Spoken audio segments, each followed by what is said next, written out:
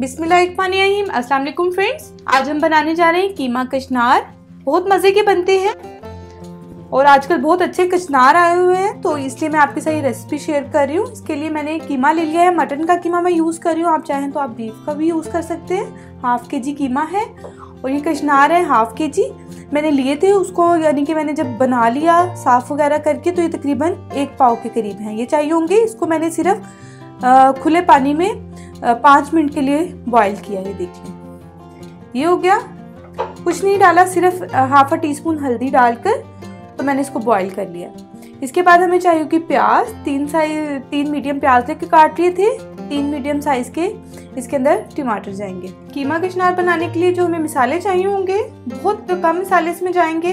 इसमें सूख मिर्च पाउडर है, हल्दी और गरम मसाला। ये मैंने एक एक टीस्पून लिया है। हाफ़ अ टी स्पून कुटा हुआ, भुना हुआ साबुत धनिया है। एक टीस्पून क्रश चिली है। स्पाइसी आप अपने टेस्ट के मुताबिक भी कर सकते हैं, इसको कम या ज़्यादा। और नमक चाहिए होगा आप हंसपे जायका डाल लें। इसके बाद हमें चाहिए ग्रीन चिलीज चार से पाँच अदर उसको काट लें, हाफ़ से थोड़ा सा ज़्यादा ऑयल जाएगा। और one and half table spoon के करीब हमें चाहिए होगा लहसुन अदरक का पेस्ट चलें, इसको बनाना शुरू करते हैं। सबसे पहले हम डालेंगे ऑयल ऑयल में हमने प्याज डालकर इसको गोल्डन ब्राउन कर लेंगे ये देखिए फ्रेंड्स प्याज का थोड़ा सा कलर जो है चेंज हो गया। फिर आपने इसमें जिंजर एंड गार्लिक पेस्ट डाल देना है। और कीमा। कीमा मैंने ज़्यादा बारीक ही यूज़ कर रही हूँ। इसको अब हम अच्छे से भूनेंगे जिंजर एंड गार्लिक पेस्ट में, कीमे को और प्याज में, ताकि जो मटन का कीमा है, ज़रा स्मेल होती है उसमें तो अच्छे से इसकी स्मेल ख़त्म हो जाए। साथ ही हम इसमें गरम मसाला ऐड कर देंगे।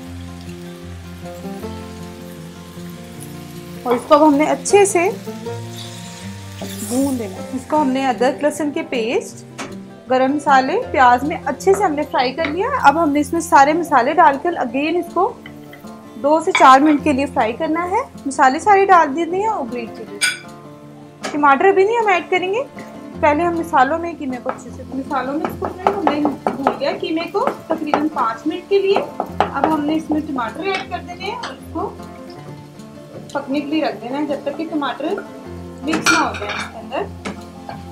इसको हम कवर करके अब रख देंगे कीमा हमारा अच्छे से भून चुका है।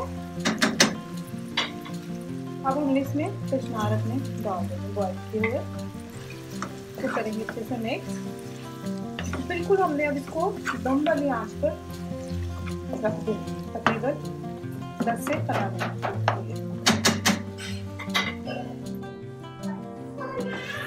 ये देखिए फ्रेंड्स ये हमारे जो हैं कीमा कशनार बिल्कुल रेडी है? बहुत मज़े के लग रहे हैं। खुशबू भी बहुत अच्छी आ रही है, आप लोग ज़रूर ट्राई करें। अगर आपको ये अच्छा लगे तो प्लीज़ लाइक करें कमेंट करें, अपने फ्रेंड्स एंड फैमिली के साथ शेयर करें।